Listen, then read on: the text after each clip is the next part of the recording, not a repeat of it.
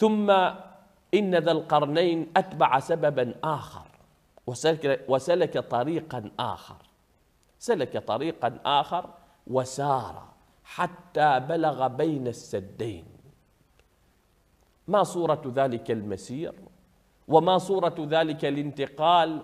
ذلك شيء لم نحط به خبرا لا نعلم عنه شيئا. مكناهم فيما إن مكناكم فيه. مكناهم في الأرض ما لم نمكن لكم. كان شيئا عجبا. في الآية عجب وتعجيب. أو في هذا الموضع من القرآن عجب وتعجيب. على عظمة قدرة الله تبارك وتعالى. بلغ ذو القرنين بين السدين. بلغ بين السدين. والسدان جبلان السد هو الجبل هو الجبل العظيم. بلغ تلك المنطقة بين السدين ووجد أمام السدين قوما.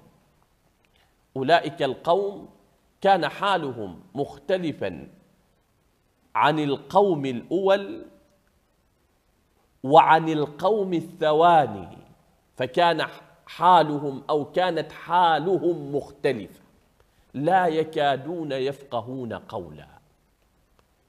كانوا من الغرابة بمكان بحيث إن لغتهم كانت لغة مختلفة عن لغة ذي القرنين. وذلك يدل على أن ذا القرنين سار أو قطع مسافة ليست قصيرة.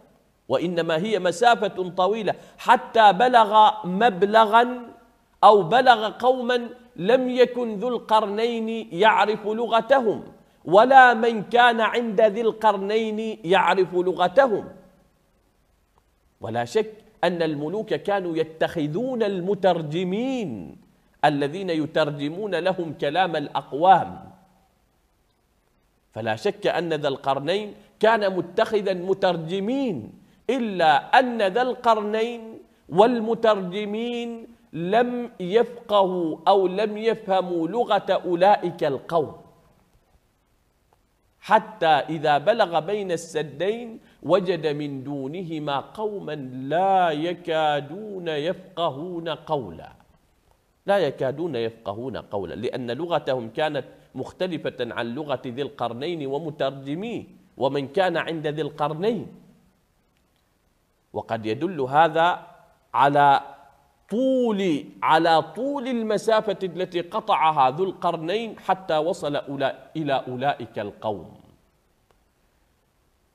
ولغة أولئك القوم كانت مختلفة عن لغة ذي القرنين ولغة مترجميه والظاهر أن أولئك القوم كانوا أيضا لا يخلون من بطء في الفهم.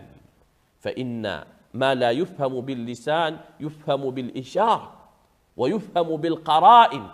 ولذلك كانت حيلة أولئك القوم قليلة أو معدومة حتى تغلب عليهم قوم فلم يستطيعوا ردهم ولا الدفاع عن أنفسهم. وقد علم هؤلاء القوم أن ذا, أن ذا القرنين أوتي من القوة والتمكين ما يجعله قادرا. ما يجعله قادرا على إيجاد حل لهم. يحول بينهم وبين عدوهم بحيث لا يستطيع عدوهم أن يصل إليه. ولذلك قالوا يا ذا القرنين بعد أخذ ورد ولئي حتى وقع الفهم بين الفريقين فهم من قولهم أنهم يقولون لذي القرنين يا ذا القرنين إن يأجوج ومأجوج قومين مفسدون في الأرض يفعلون بنا الأفاعيل يغيرون علينا فيقتلوننا ويفسدون في الأرض ويخربون أسباب معيشتنا.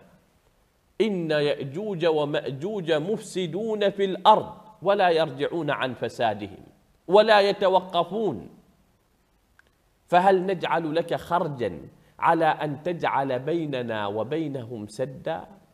نجعل لك خرجا نصيبا سنويا مما ننتج ونزرع ومما عندنا من الأموال. نجعل لك هذا الخرج كل سنة مقابل ما ستقوم به لنا وهو بناء سد بيننا وبين هؤلاء القوم بحيث لا يستطيعون أن يصلوا إلينا.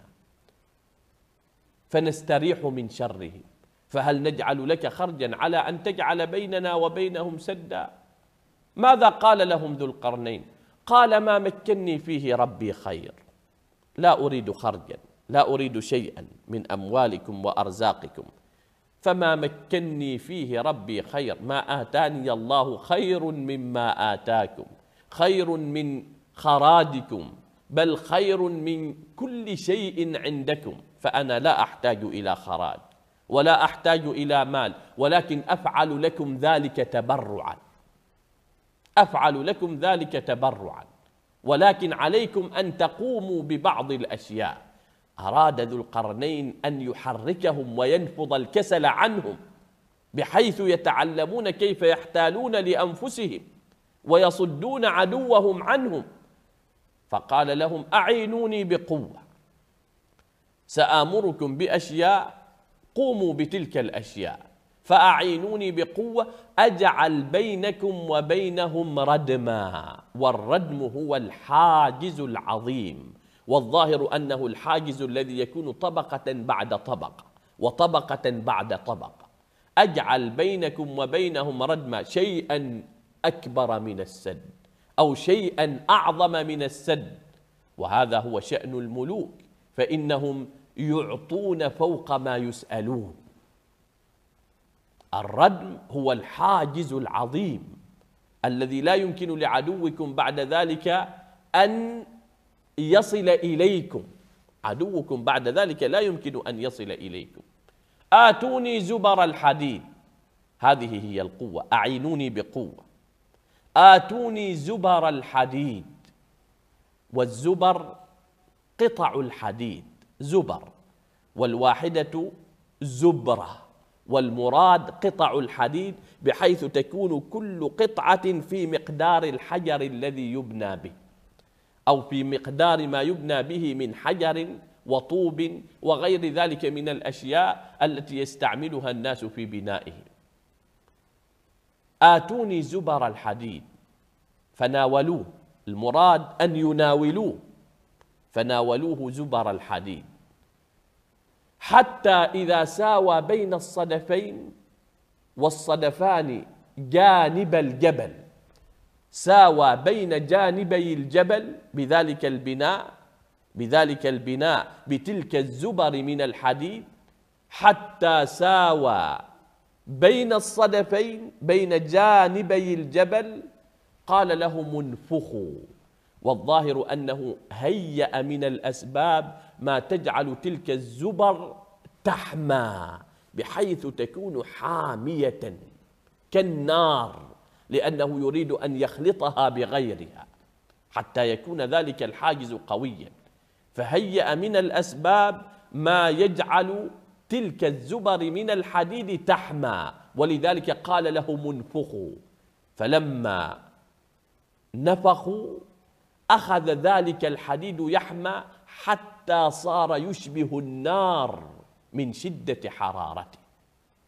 حتى إذا جعله نارا حتى إذا جعله نارا ساخنا سخونة شديدة حتى كأنه النار.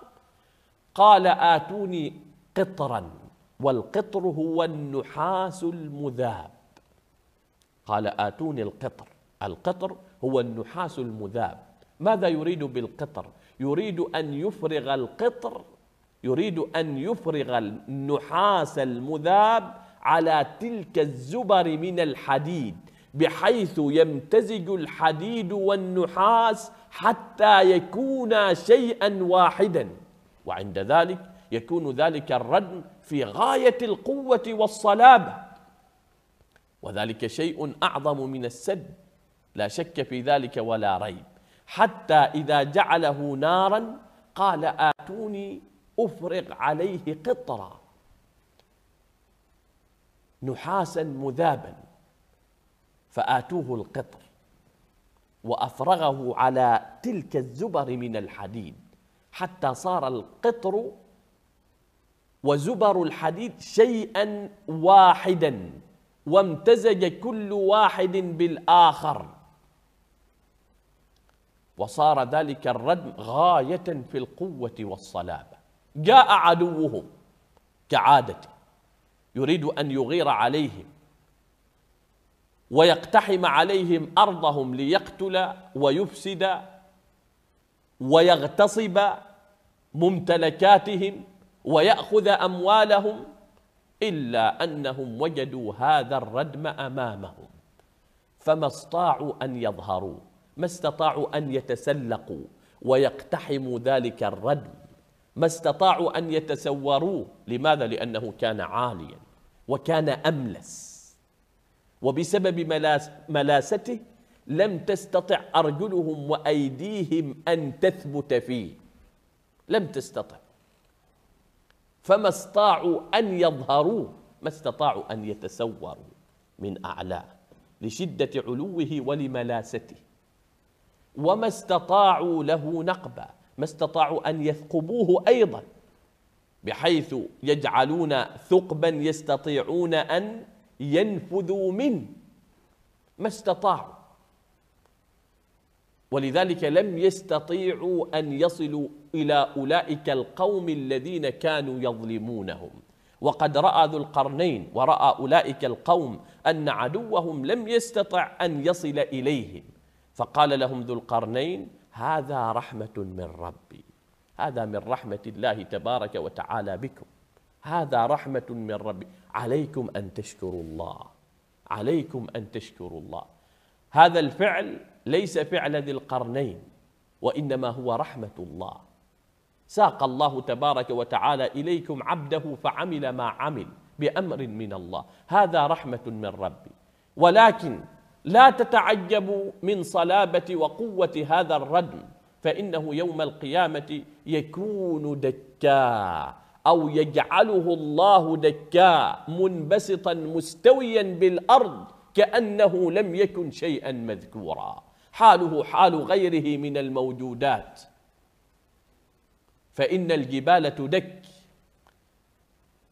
فإذا جاء وعد ربي وهو يوم القيامة جعله دكا وكان وعد ربي حقا.